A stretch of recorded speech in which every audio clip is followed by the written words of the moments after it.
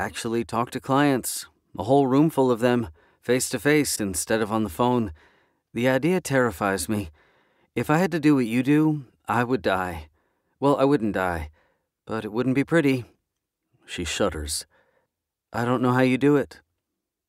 I pick up a wide toothed metal rake to break up the bigger clumps of dirt. But what does Steve have to do with that? Well, for a sales guy like Hot Steve, I mean, Steve, hold up. Hot Steve? That's what all the women at work call him, so that's who he is in my head. She grimaces. I haven't called him that to his face. Yet. She rolls her eyes. Though he'd probably love it if I did. I can't help laughing at how her mind works. Okay, so Hot Steve. She makes a face. For Steve Lowell to go on a marketing trip, he has to go with an analyst like me, because what he's really selling is my research.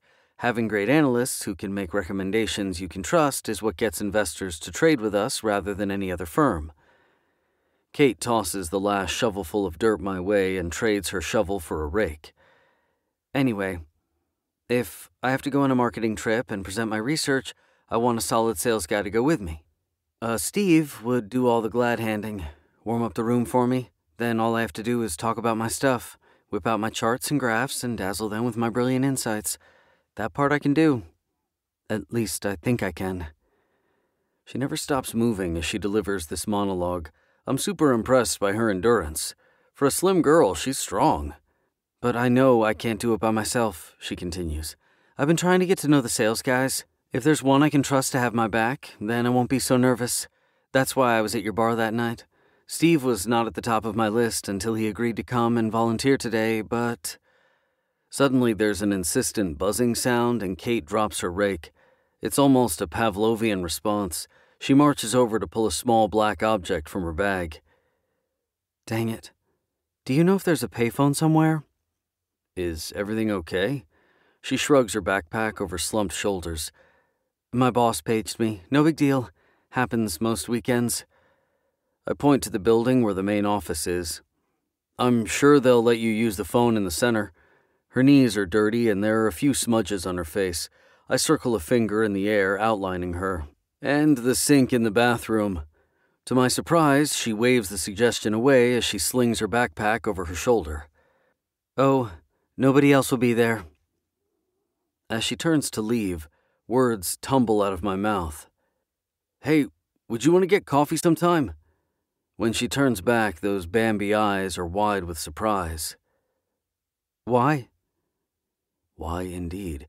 She is not someone I ever saw myself spending time with, but my mouth isn't listening to my brain. I think I'm asking you on a date. Oh, sorry. The guys I work with have really got me on the defensive. The pager goes off again. I gotta go, but sure.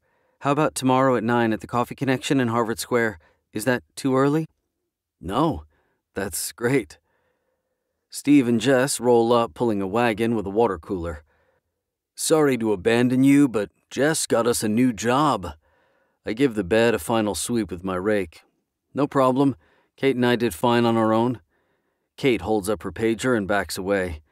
And now I'm heading to the office. Can you get a ride home, Steve? Sure. He glances over at Jess. A grin of conquest takes over her face. I'll give him a ride. Nice to meet y'all, Kate calls as she jogs away. I'll see you at the trade show Monday, Steve.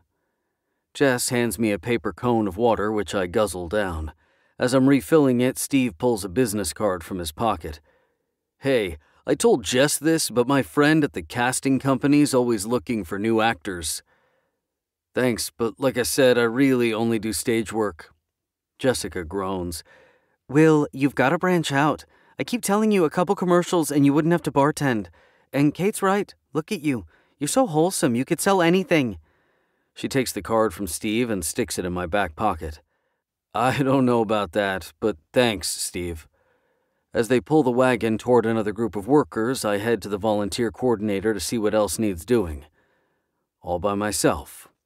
Which I'm totally comfortable with. So why am I already looking forward to seeing Kate again?